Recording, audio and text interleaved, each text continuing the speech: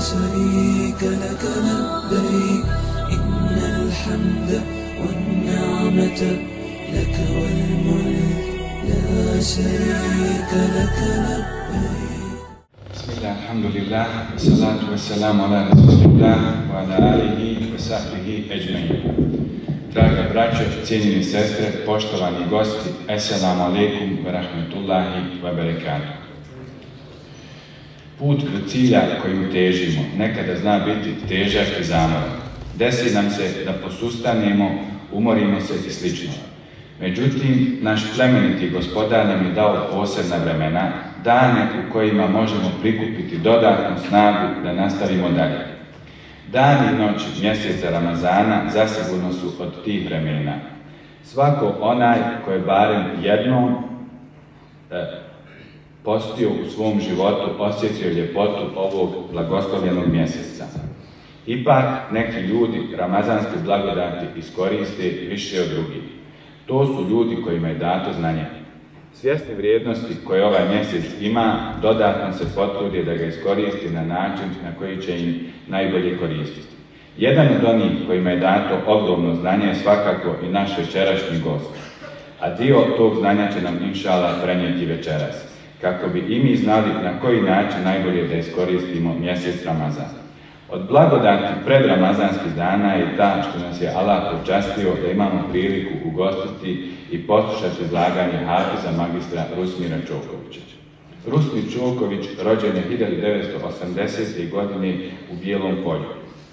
Osnovnu školu završio je u Berlinu, Njemačkoj, a gimnaziju u Sarajevu.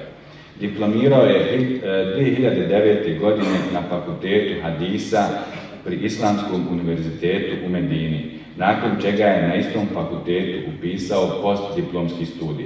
On je tek treći postdiplomac iz Bosne i Hercegovine koji je magistrirao na Islamskom univerzitetu Medini.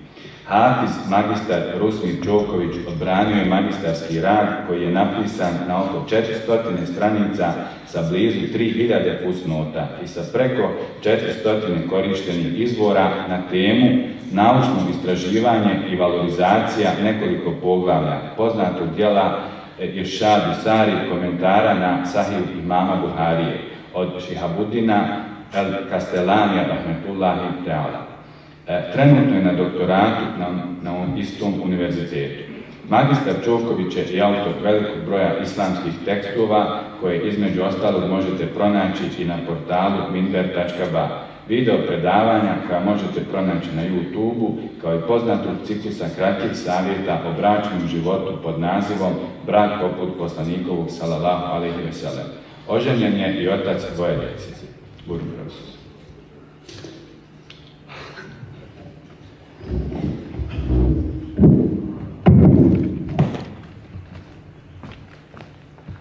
إن الحمد لله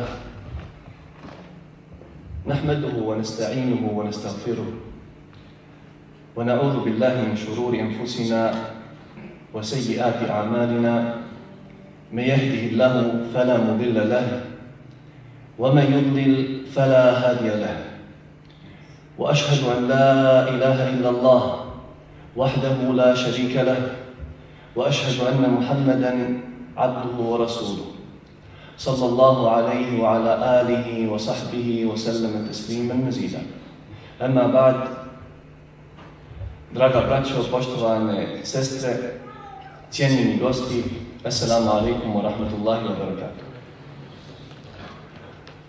Nakon pohvale i zahvale uzvišenom gospodaru, ne mogu, a da se ne zahvalim organizatoru ovog večerašnjeg skupa i svim onim volonterima koji su nesebično učestvovali na tome da dođe do ovog lijepog skupa u ovom prelijepom gradu. Kada sam dobio naslov ovog večerašnjeg druženja Dani uspjeha prisjetio sam se svih onih knjiga i seminara koje sam prethodno vidio i čitao, a koji su govorili o uspjehu. Međutim, uradio sam nešto što bi možda neki od vas vjerojatno uradili. A, ukucao sam riječ uspjeh u internet, poznat internet pretraživač, a, jednostavno da bih vidio do koje mjere ljudi se interesuju o uspjehu. To sam uradio dva puta. Jednom sam ukucao na engleskom jeziku riječ uspjeh i dobio sam jedan rezultat koji sam zapisao, onda sam zaboravio gdje sam ga zapisao, pa sam nakon deset dana to ponovo uradio. Dobio sam rezultat od milijardu i 190 miliona rezultata, a nakon toga nađem onaj papir na kojem sam prethodno bio napisao i vidio sam da je na njemu pisalo 700 i nešto miliona rezultata. Što će reći da u nekih desetak dana, koliko je trajalo između mog prvog i drugog ukucavanja u Google riječ uspjeh na engleskom jeziku, povećalo se interesovanje ljudi, govor ljudi o uspjehu, bar na ovom pretraživaču za preko 400 ili oko 400 miliona puta. To je zato što svi ljudi, bez izuzetka, žele uspjeh. Uspjeh u životu, uspjeh u poslu, uspjeh u braku i u svemu onome što radi. Pa su ljudi, naročito na zapadu, gdje se puno vjeruje u uspjeh, osnovali institute i institucije i istraživačke, naučno-istraživačke centre u kojima istražuju o uspjehu. Isto tako, u najpoznatijoj online knjižari sam ukucao riječ uspjeh da vidim koliko to ljudi pišu o uspjehu. Pa sam na Amazonu dobio rezultat od preko 200.000 naslova gdje ljudi govore, pričaju, pišu o uspjehu. 80.000 od tih naslova vezano je za lični uspjeh i uspjeh u poslovanju. Pa šta bi bio uspjeh oko kojeg ljudi pričaju i oko kojeg svoje stremljenje usmjeravaju i istražuju.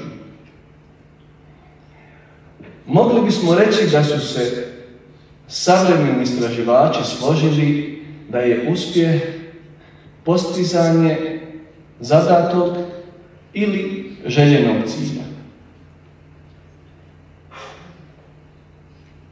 Zadati cilj kao kad roditelji pošalju dijete u osnovnu školu, dijete u startu nije htjelo da ide u školu, međutim, roditelj mu kaže da tako treba i onda dijete završava, na primjer, svoju osnovnu školu koja mu je zadata. Isto tako na poslu čovjek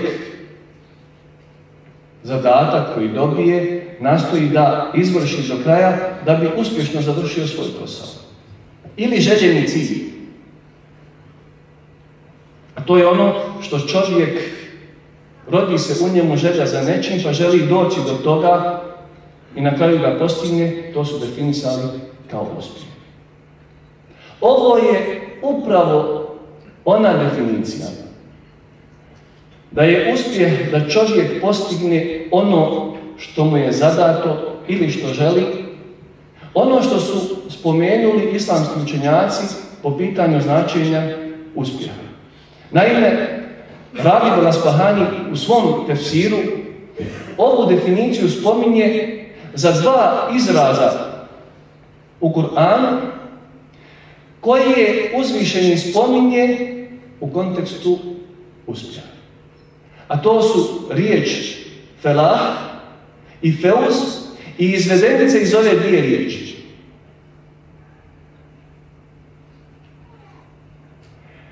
Kur'an, a mi čvrsto vjerujemo da ga je Allah poslao ljudima ne samo da budu sretni, ne samo da znaju za svoga gospodara, ne samo da znaju ono što on od nas uzvišeni traži, već i da nam riješi i pruži sve ono za čim ljudi trebaju.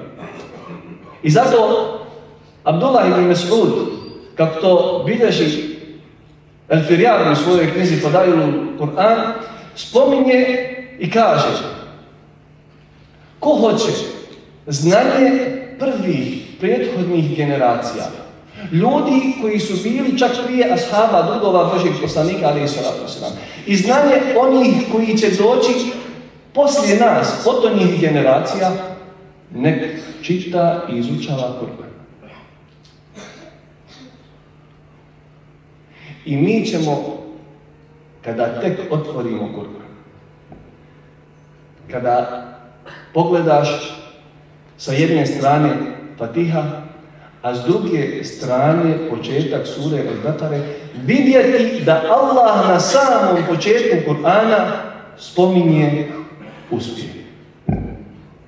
Kaže uzvišeni gospodar, Elif na mi, velikem kitabu la rajbe fi, hudan li muttaqin. Elif na mi, ovo je knjiga u koju nema sumnje, uputa je onima koji su bogobojazni. Alladine yu'minuna bil ghaibi wa yuqimuna as-salata wa mimma razaqnahum yunfiqun. Oni koji vjeruju u nevidljivi svijet i namaz uspostavljaju i dio od onoga što smo im mi dali udjeljuju. وَالَّذِينَ يُؤْمِنُونَ بِمَا أُنزِلَ إِلَيْكَ وَمَا أُنزِلَ مِنْ قَبْلِكَ وَبِالْآخِرَةِ هُمْ يُوقِنُونَ I oni koji vjeruju u ono što je objavljeno tebi i ono što je objavljeno prije tebe i koji čvrsto vjeruju u onaj svijet, ulaike ala huden mir rabbihim, oni su na uputi svoga gospodara, wa ulaike humul muflihun. I oni su oni koji su uspjeli. Pa je Allah odmah na svom početku, na početku svoje knjige ljudima rekao šta je uspjeh. Ko su oni koji su uspješni? Druga riječ, riječ Feuz, spominje se u drugoj suri. U suri Ali Imran. Kaže uzvišeni gospodar, kullu nefsin da'iqatul mevut. وإنما توفون أجوركم يوم القيامة فمن زحزح عن النار وأدخل الجنة فقد فاز Svaka duša će smrt osjetiti. Pa onaj ko bude uveden u džennet i bude sačuvan džehennemske vatre, on je onaj koji je istinski uspio. On je onaj koji je istinski uspio. Pa je gospodar plemeniti objasnio šta je uspjeh na ovom svijetu i šta je uspjeh na ovom svijetu. U suri Al-Baqara, koje, u ajdima koje smo prethodno spomenuli, spomenuo je uspjeh na ovom svijetu. A u ovom ajetu spominje uspjeh na ovom svijetu. Ne može, ne može niko biti uspješan na onom svijetu ukoliko nije uspješan u ovom značenju na ovom svijetu. Niti bilo ko može biti uspješan na ovom svijetu ukoliko ne stremi da bude uspješan na ovom svijetu. Slično ovome, Allahov poslanik sallallahu alaihi wa sallam objašnjava nam šta je uspjeh. Bilježe Buharija i Muslim od Talhe ibn Ubejdillaha, radi Allahu anhu, da je došao jedan čovjek od poslanika sallallahu alaihi wa sallam, kaže Talha, nismo razumjeli šta govori jer nije razgovjetno pričao. Kada smo se približili, čuli smo da pita poslanika sallallahu alaihi wa sallam o islamu. Kaže mu poslanik sallallahu alaihi wa sallam između ostalog i da obavljaš pet dnevnih namaza u toku dana i noći. Kaže ovaj čovjek, jesam li dužan ja nešto mimo toga? Kaže poslanik sallallahu alaihi wa sallam, nisi osim ukoliko želiš dobrovoljno. Kaže mu zatim i da daješ propisani zekat. Kaže, jesam li dužan nešto mimo toga? Kaže, ne, osim ako hoćeš dobrovoljno. Zatim mu kaže i da postiš mjesec Ramazana. Kaže, jesam li dužan postiti nešto mimo Ramazana, kaže mu poslanik sallallahu alaihi wa sallam, ne, osim ukoliko budeš želio dobrovoljno. Pa je ovaj čovjek na to rekao, tako mi Allah, tako mi Allaha, ja neću na ovo ništa dodati i neću od ovoga ništa umanjiti. A zatim se okrenuo i otišao. Kada je odmakao, kaže poslanik sallallahu alejhi ve sellem, on je uspio ako je iskren u onome što govori.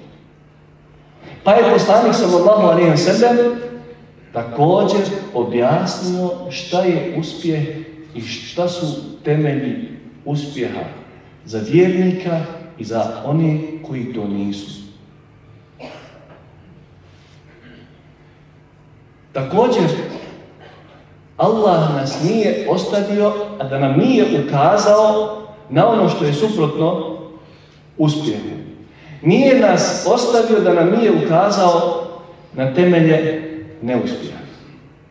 Kaže uzvišenje Allah u suri Al-Maida Ja ejuha ladina amanu innama al-khamru wal-maisiru wal-ansabu wal-azlamu rijs min amali šeitani fajtanibuhu la'allakum tuflihun. O vjernici, doista je vino i kocka i kipovi i strelice za gatanje nešto odvratno, djelo šeitansko, pa ostavite to da biste bili uspješni.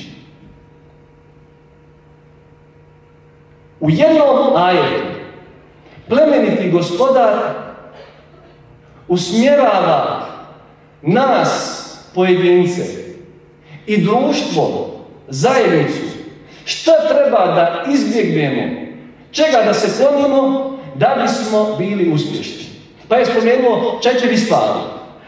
Ovi koji vjerujete, vino, alkohol, droga i sve ono što kod čovjeka stvara ovisnost ili što narušava njegov razum.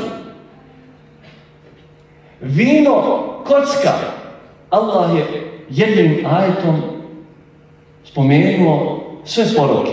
A mi imamo kampanje, medijske institucije i ostalo koji pokušavaju na različite načine da uklone poroke. Kaže i kocka, i kipovi, a kipovi su ovdje u značenju ili najpreći da se spomenu u značenju svega onoga što je suprotno islamskom vjerom. I strelice za gatanje, sva praznovjerja i sve ono što ljudi vjeruju, a što nema utemeljenja u razumu, niti u objavama uzvišenih gospodara. To su, kaže uzvišeni Allah, ružne stvari, pa ih se klonite da biste uspjeli. Ostao je još jedan porok koji uzvišeni Allah spominje u suri Benu Israil, u suri El Isra, kada kaže وَلَا تَقْرَبُ zina i nemojte se ni pošto zinaluku, bludu približavati. Tako da kao što imamo objašnjeno u Kur'anu i sunnetu Božeg poslanika sallallahu alaihi wa sallam značenje sreće i uspjeha imamo objašnjeno jasno ono što je suprotno tome što nas vodi putem neuspjeha i putem nesreće.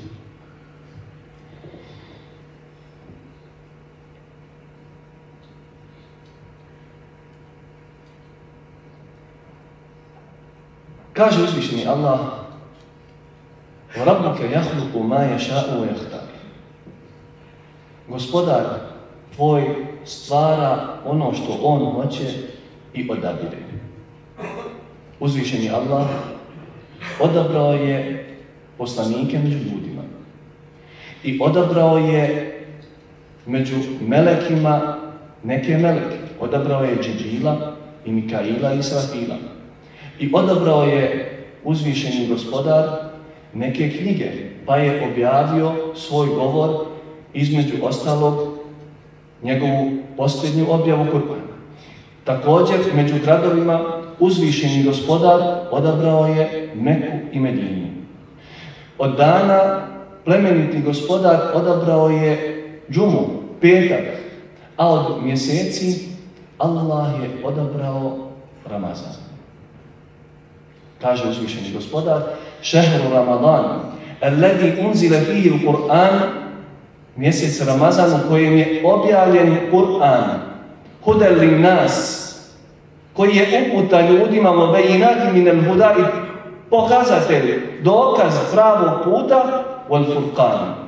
I razila razlikovanje između istine i neistine, dobra i zla. Allah je odabrao ovaj mjesec i odabrao je da neka djela u ovom mjesecu budu vrijednija od djela u drugim mjesecima i drugim danima. Kaže uzvišeni gospodar u suri Az-Zumar Efemen jettaki bi vajhihi su al-azabi jevme al-qiyama. Zar je onaj koji se svojim licem zaklanja na sudnjem danu od strahovite patnje. Zar je onaj koji se svojim licem na sudnjem danu zaklanja od strahovite patnje? Po prirodi stvari, čovjek zaklanja svoje lice od onoga čega se plaši. A nipošto da se licem zaklanja od onoga čega se plaši. Međutim, na sudnjem danu, Allah da nas neki ljudi će svoje lice poturati da bi se zaštitili od strahovite patnje. Bilježe Buharija i Muslim od Ebu Sa'ida al-Hudrija radijallahu anhu da je poslanik sallallahu alaihi wa sallam rekao Men same jeumen fi sebilillah ba'ada Allahu vajhehu anin nari sab'ina halifa. Ko bude postio jedan dan na Allahovom putu, Allah će udaljiti njegovo lice 70 godina od džehennemske vatre. U drugom hadisu poslanik sallallahu alaihi wa sallam kaže as-sawmu džunne. Post je štit. Zato što štiti vjernika od toga da ga dotakne vatra džahennemska na danu. I ovo je jedna od velikih vrlina posta. Zatim, Allah poslanik sallallahu alaihi wa sallam nas podučava koje su to druge stvari na koje bismo trebali paziti u postu. Imam Zahabi u svojoj knjizi El Kebair kaže muslimani su složni. Vjernici potvrđuju da je neopravdano mršenje, odnosno nepoštenje jednog dana u Ramazanu, veći bez opravdanog razloga, poput bolesti i putovanja, veći grijeh od toga da čovjek blud učini ili da učini zinavog. Zato je post jedan od temelja sreće i jedan od temelja jedan od temelja uspjeha na ovom svijetu. Da bi se post na najbolji način iskoristio, mislim da trebamo da obratimo pažnju na dvije stvari. Prva stvar je da prije Ramazana i Ramazanskog posta iskreno donesemo teubu. Iskreno se pokajemo uzvišenom gospodaru. Zašto? Mi imamo ljude koji treniraju mjesecima, možda i godinama. koji u tom treniranju steknu dosta snage, postanu, ako su u pitanju atletičari, brzi. Međutim, dođe čovjek koji nije trenirao, nije nimalo trenirao, i njih se dvojica potrkaju i ovaj pobijedi. Kako može pobijediti? Može pobijediti zbog toga što kad na ovog jakog i brzog staviš terete, koji će ga onemogućiti da on može da trči brže od onoga koji nije trenirao. I to je primjer čovjeka koji sa sobom nosi grijehe u Ramazan i primjer čovjeka koji nema ti grijehe. Zato uzvišeni gospodar kaže u suri Hud وَيَا قَوْمِ اسْتَغْفِرُوا رَبَّكُمْ ثُمَّ تُوبُوا إِلَيْهِ يُرْسِلِ السَّمَاءَ عَلَيْكُمْ مِدْرَارًا وَيَزِدْكُمْ قُوَّةً إِلَى قُوَّتِكُمْ O narode moj, molite svoga gospodara da vam oprosti i njemu se pokajte. On će vam dati obilnu kišu i dat će vam snagu u snagu koju ste imali.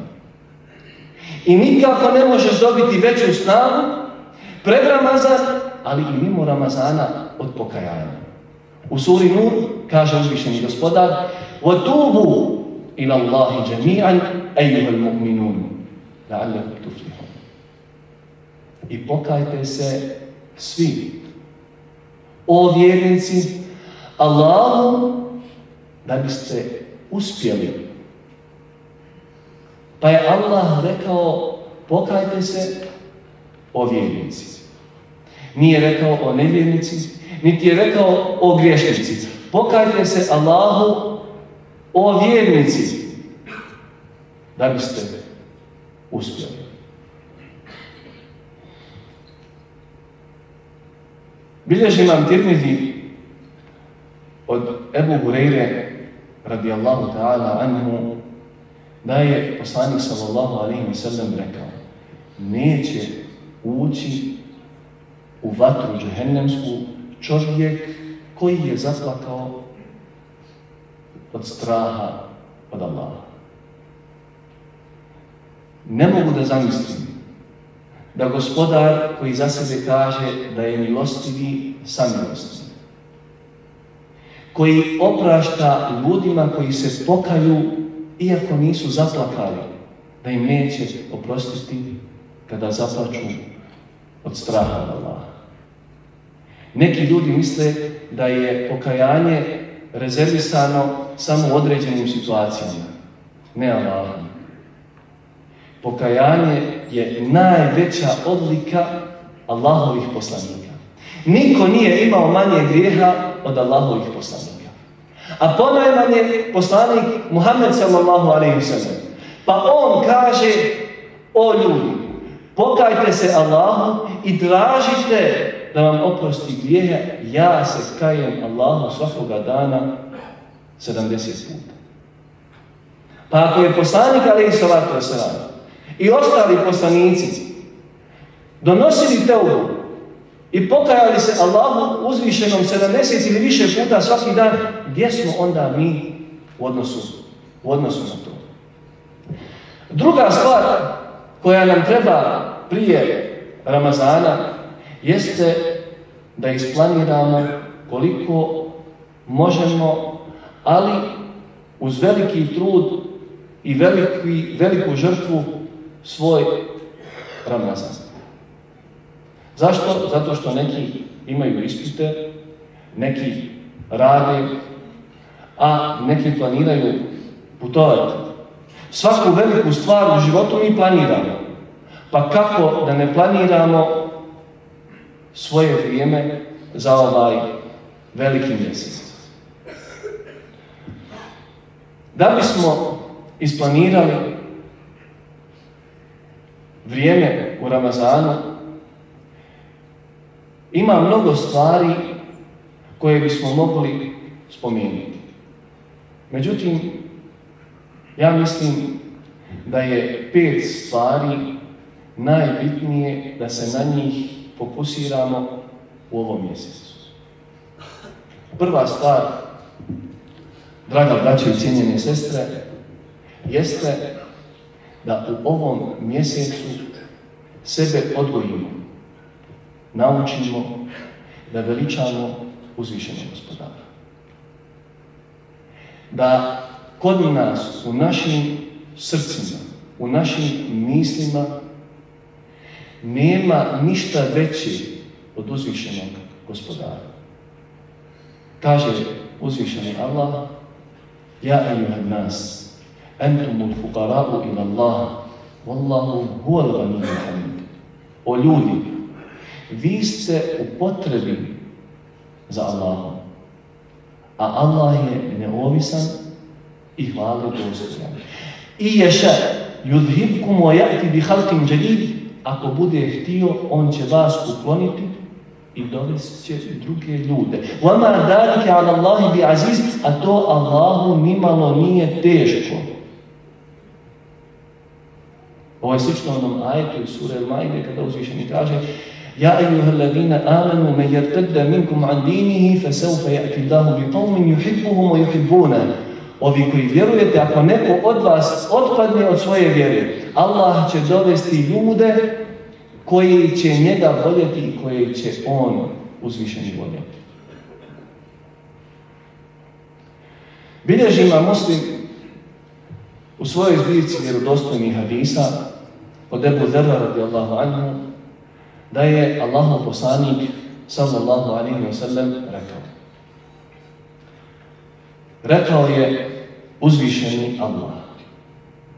Ja ibadi, kullukum dalom illa man hedejtuhu festehduni ehlikum.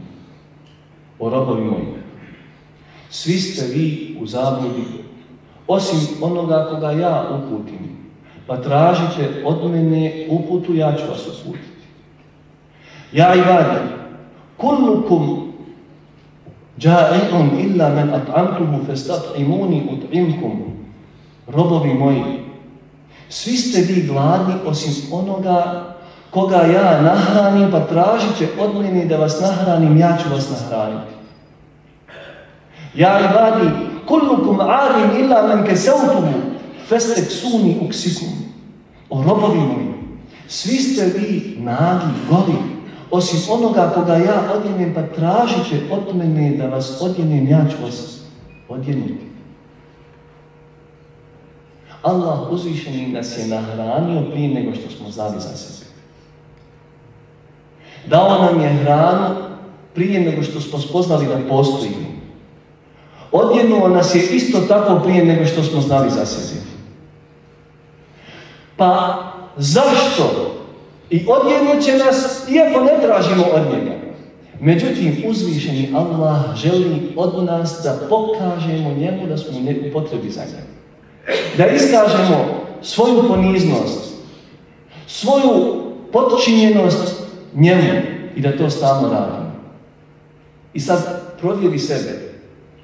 Kad si, iako imaš šta da jedeš, rekao gospodaru moj na hranu. Imaš šta da odjeneš, Kad si rekao, gospodaru moj, obuci A to je jedan od najvećih ibadeta koji čovjek može reći, može raditi. Zato dalje u ovom hadisu Allahu poslanik sallallahu alejhi ve sellem kaže o ljudi. Kada biste svi vi prvi među vama do posljednjih među vama imali srce najpobožnijeg čovjeka među vama,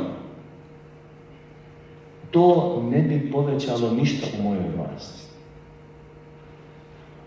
O robovi moji, kada biste svi vi, od prvog do posljednjeg, džini i ljudi, imali srce najgoreg čovjeka među vama, to nimalo ne bi umanjilo moju vlast. O robovi moji, kada biste svi vi, i džini i ljudi, od prvog do posljednjeg, stali na jednu ranu i svakom od vas zatražio od mene sve što želi i svakom od, od, od vas dao bih ono što traži, to ne bi umanilo ono što je kod mene, osim kao što umanji igla kada se umoči u more. To je uzvišeni gospodar koji od nas traži i želi da mu pokažemo podčinjenost i da znamo da mi njemu nismo potrebni, a on nama jeste i tekako. Druga stvar na koju trebamo se fokusirati u Ramazanu jeste Allahova. Mjesto ili način kako ćemo spoznati veličinu gospodara. I glavna odlika, jedna od glavnih odlika ovog nastupajućeg mjeseca jeste upravo čitanje i izučavanje Allahovog govora. U hadisu koji bilježi Buharija od Osmana radijallahu ta'ala anhu, poslanik sallallahu alaihi wa sallam kaže Hajrukum men ta'allama al-Qur'ana wa 'allamahu. Najbolji među vama je onaj koji izučava, studira Kur'an koji drugi, koji drugi podučava Kur'an. Nije rekao koji čita, nego koji studira, izučava i druge podučava tom Kur'anu. Ima muslim bilježi u svom sahihu od Omera radijallahu anhu da je poslanik sallallahu alaihi sallam rekao Allah doista sa ovom knjigom uzdiže neke ljude, pojedince, društva, a unizuje druge. Unizuje one koji mu okrenu, okrenu svoja leđa. Zato je Allahov poslanik sallallahu alejhi ve sellem praktično pokazao šta znači druženje sa Kur'anom u mjesecu Ramazana. I ima Buharija bilježi od Abdullah ibn Abbas radijallahu anhuma da je rekao Allahov poslanik sallallahu alejhi ve sellem je bio najdarežljiviji čovjek. A najdarežljiviji je bio u Ramazanu kada se sretne sa Džibrilom, a sa Džibrilom se susretao svaku noć. Sa njim je, kaže Ibn Abbas, izučavao Kur'an, studirao Kur'an. A u drugom rivajetu od Hadisa kaže, njemu je Allah poslanik sallallahu alaihi wa sallam učio Kur'an. Pa je rezultat poslanikove darežljivosti, povećanje darežljivosti poslanika sallallahu alaihi wa sallam u Ramazanu bilo njegovo učenje Kur'ana. 30 dana, 30 noći je ono što je poslanik alaihi salatu wasalam radio i koristio za učenje i izučavanje Kur'ana niskim drugim, već sa najuzvišenijim i najplemenitijim melekom Džibrilom alaihi Treća stvar, koja je rezultat prije svega čovjekove spoznaje da je Allah njegov gospodar i da je on u potrebi za svojim gospodarem. Stvar koja je najčvršća veza između čovjeka i njegovog gospodara. To je namaz. Imam Tirmizi bilježi od Ebu Hureyre radijallahu ta'ala anhu da je poslanik sallallahu alaihi wa sallam rekao Prvo zašto će čovjek biti pitan od njegovih dijela na sudnjem danu jeste namaz. Ako mu on bude ispravan, kaže poslanik sallallahu alaihi wa sallam, ako mu on bude ispravan, on će uspjeti i bit će spašen. Pa je spomenuo poslanik sallallahu alaihi wa sallam uspije. U hadisu koji bilježi imam Buharija i Muslim od Abdullah ibn Mas'uda radijallahu anhu kaže Abdullah ibn Mas'ud pitao sam poslanika sallallahu alaihi sallam koje je djelo Allah najviše voli. A u drugom rivajetu koje je djelo najbolje, kaže poslanik sallallahu alaihi sallam namaz u njegovo vrijeme. Kažu da mu ezin na namaz poziva pet puta dnevno. Nije baš tačno. Muezin uči ezan pet puta dnevno. Ali u ezanu kaže dođite na namaz, dođite na namaz, dođite na spas, dođite na spas. Pa svaki dan U svakom ezanu četiri puta poziva na namaz. I onda na sabah kaže još as-salatu hayru mine neum, namaz je bolji od spavanja. Tako da Muezin svakog dana poziva ljude 22 puta na namaz, a ne samo 5 puta na namaz. Namaz je posebna veza između čovjeka i njegovog gospodara, u kojoj ništa nije naravno. Poslanik sallallahu alaihi sallam kaže i da kane ahadukum fis salam, da innahu nađi rabbehu. Kada je neko od vas u namazu, on tiho doziva svog gospodara. A ima li neko da ne voli da doziva i da razgovara sa svojim, sa svojim gospodarom? Četvrta stvar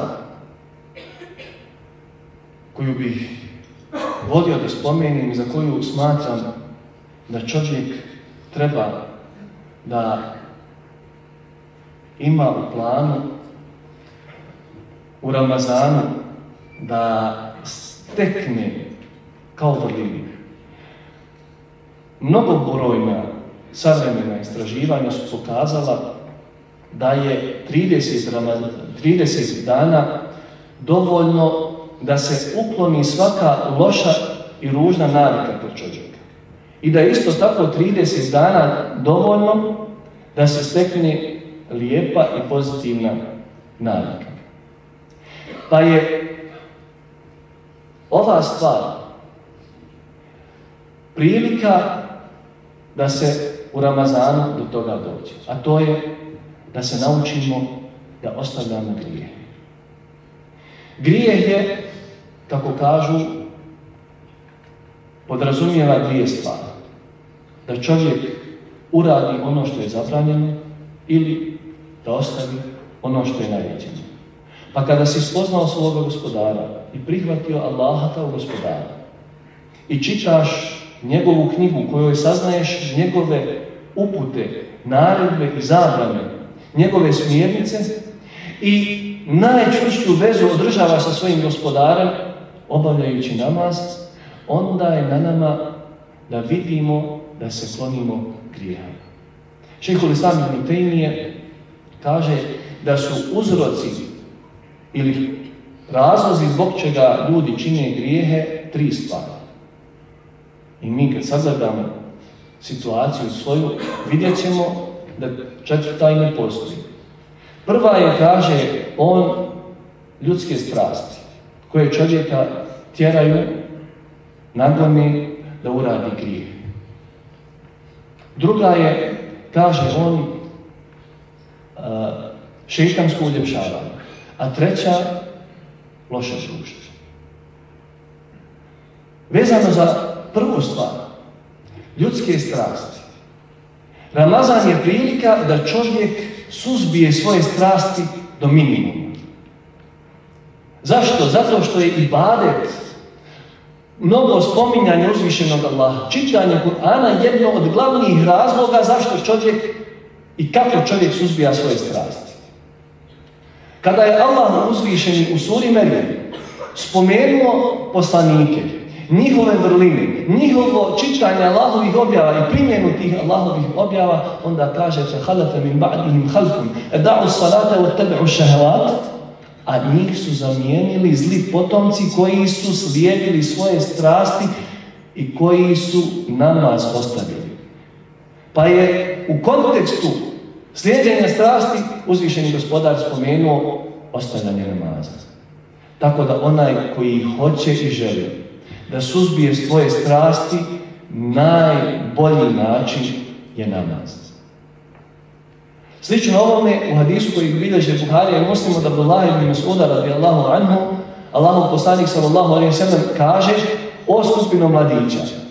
Ko od vas može da se oženi, neka se oženi. Jer je to najbolje za obaranje pogleda i čuvanje svog spolnog organa, a ko ne može, neka posti, jer je njemu post zaštita. Druga stvar koja čovjeka spriječava jeste šeitansko uljepšavanje. Kaže uzvišeni Allah, on vas vidi ili oni vas vide odakle vi njih ne vidite.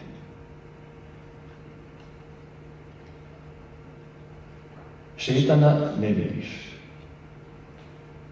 Možeš, a i ne možeš osjetiti njegovo djelovanje. Zato uzvišeni Allah kaže وَإِمَّا يَنْزَغَنَّكَ مِنَ الشَّيْطَانِ نَزَغْ فَاسْتَعِذْ بِاللَّهِ إِنَّهُ سَمِيعٌ عَلِيمٌ Kada osjetiš da šeitan te natjeruje, natjera ili tjera da uradiš zlo, onda traži zaštitu od uzvišenog gospodara, jer on sve čuje i sve vidi.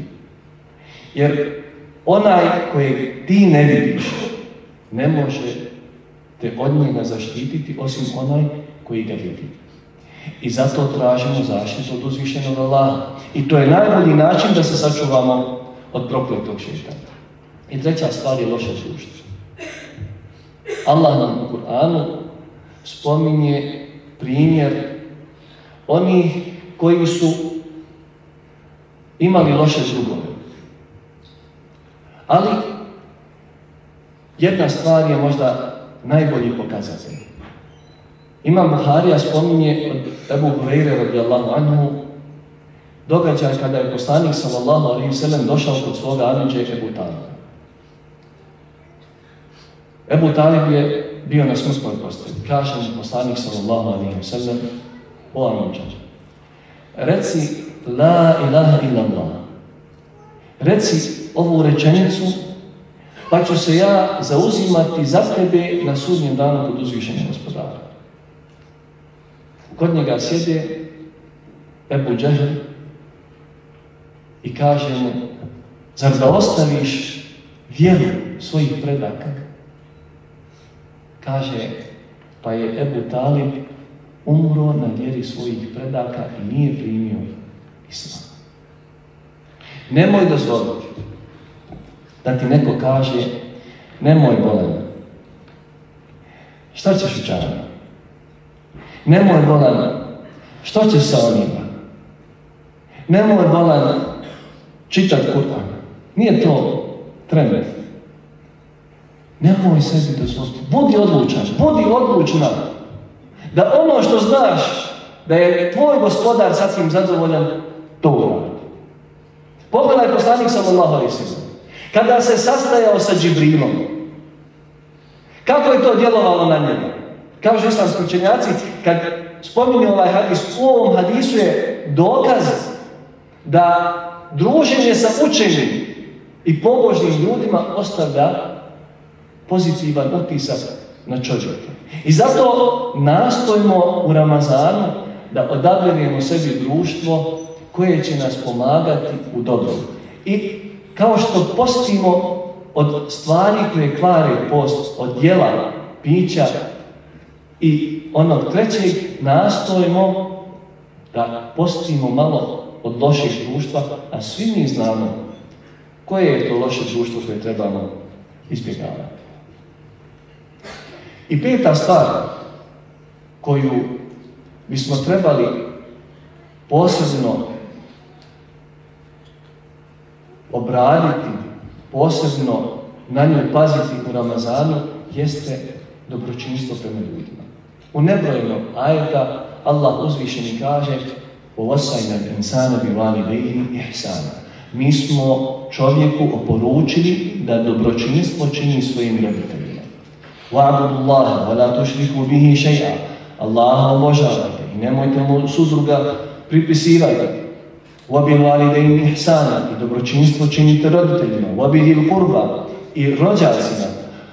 وَالْجَارِ لِلْ قُرْبَ وَالْجَارِ الْجُنُبِ I komši i bližnjem i komši i daljem. Iskoristi Ramazan da vidiš da popraviš stanje sa onim ljudima sa kojim si pokvario odnose. Da nadomjestiš nepravdu koju si eventualno učinio ili da razmiriš nesuglasice. Zašto? Zato što ma koliko ti bio dobar Allahov rob, ne možeš napredovati i biti uspješan ako nemaš dobar i uspješan odnos sa kategorijama ljudi koje nam je uzvišeni gospodar spomenuo. A najpreći su roditelji, rodbina, komšije i oni nad kojima mi koliko toliko imamo neku, što se kaže, vlast.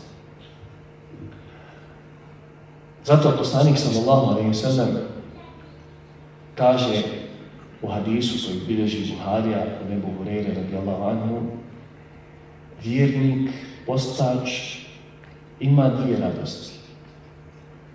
Jedna je kada dočeća iftar, a druga je na onom svijetu.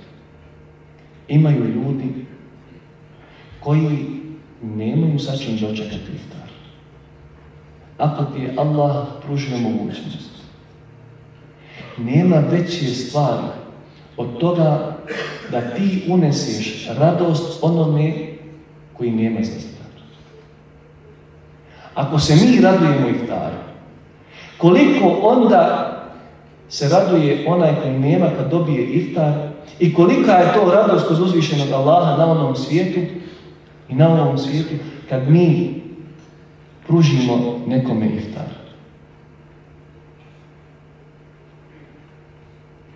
U jednom hadisu, čiji je lanac prenosilaca slab, koji bilježi imam taberani, stoji da je poslanik sallallahu alaihi sallam rekao Ibadet je, ibadet je da uneseš radost u srce vjernika.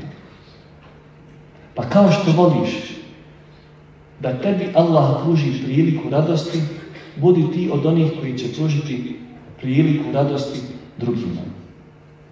I druga radost koju vjernik ima, kao što kaže poslanik alejhi ve sellem, jeste na onom svijetu kad se čovjek sretne sa svojim gospodarom. Molim uzvišenog Allaha da budemo od onih koji će se radovati još na ovom svijetu, ne samo i iftaru, nego svakom dobrom djelu koje nam uzvišeni Allah ukaže i nadahne nas da ga učinimo i da nas učini od onih koji će biti radosni na onom svijetu, uspješni na ovom svijetu i na onom svijetu i uspješni ovim predstojećim danima uspjeha. Ja vam se najljepše zahvaljujem. Allah da vas